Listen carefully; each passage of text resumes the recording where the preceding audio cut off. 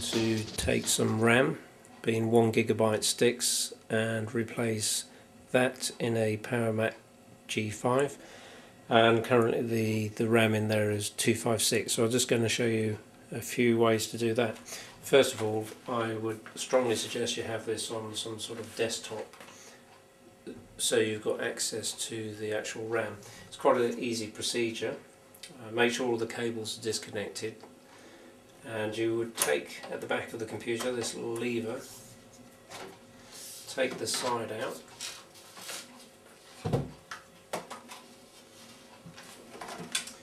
the plastic little cover here that just folds away at the bottom. There's three little lugs there. Put that to one side. The fan also slots in and out, but be a bit careful uh, as you take this out. Just gently ease it, but put your finger here and finger here. And out it pops. That's good. So that's your three items. Now the RAM that's in here um, is in four different bays. So each bay must have equal side of RAM. So I'm going to put one gig in at the bottom one here. I'm going to put one gig in at the top. So one thing to think about when you're changing the RAM is to think about the consequences. I've got 3.5 gig of RAM in here. I'm going to put 2 gig of RAM in, which will give me 5 gig because I've got to take 2 gig, two parts of RAM out, being 256, being 512, is what I'm going to lose by replacing that RAM. So just once again, when you all your bays are full, if you're going to upgrade your RAM, you're going to obviously take some out, and in a way, in effect, you're going to lose a little bit. So although I've got 2 gig of RAM, two sticks, I'm only going to go from 3.5 I'm only going to go to 5 gig. Anyway, we'll move on.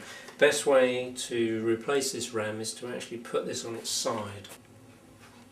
So we've got the computer now on its side, so it's lying flat, and we're going to take out the RAM.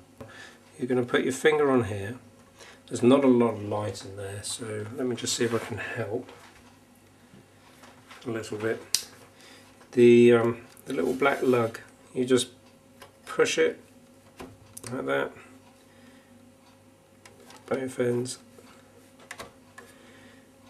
and th this area here, as it pushes down, both ends will push the ram up, and the ram is now being raised. So very carefully, I'm going to take out the ram.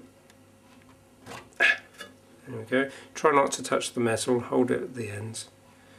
And we've got a 256 megabyte uh, RAM in that bay so I'm going to replace that with 1 gig and they come in uh, little packets I bought these or a friend bought these off eBay for me uh, they came in at about £36 for two being 2 gig Oops and taking it out very carefully. I'm going to put this over the cloth just in case it drops out. Right. Now the, uh, the important thing to remember here, this little slot, if you can see it there, there's a little slot. If I move it, it jumps over to this side. So when I go to put this back in, I must make sure that's lined up. So you can only put it in one way really If you put it in the other way, you'll quite likely break it.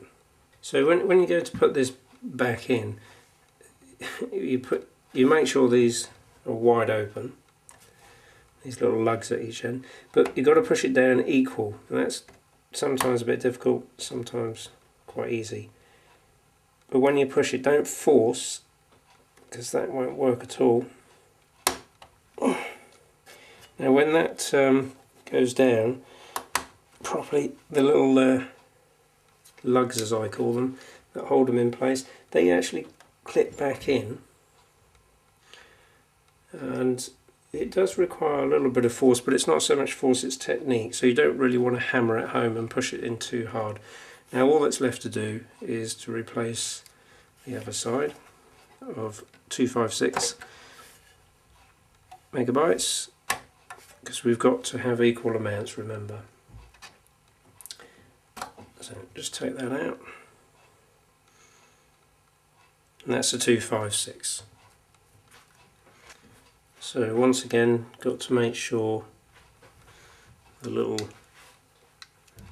lug both ends are going to go in but you've got to make sure here this little slot is in the correct place.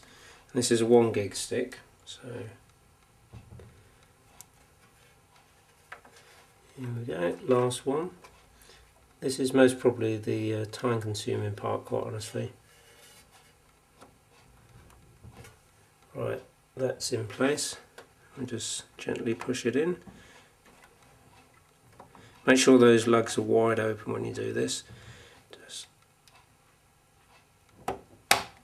it's quite a lot of pressure. There we go. That went in quite nicely. Right, that, that's it done and dusted. It's um, ready now to have it reassembled. As it's on its side, I'm just going to put it all in from here. Firstly, you take the fan. This is the part where the power is going to come in and that's the part where it's all got to match up. So don't just slide it home and forcing it. Just be very gentle. Think about which way it's going to go. The top part going here.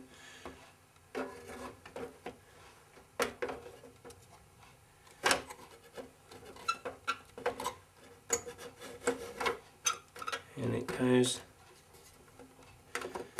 That's okay. Sitting correctly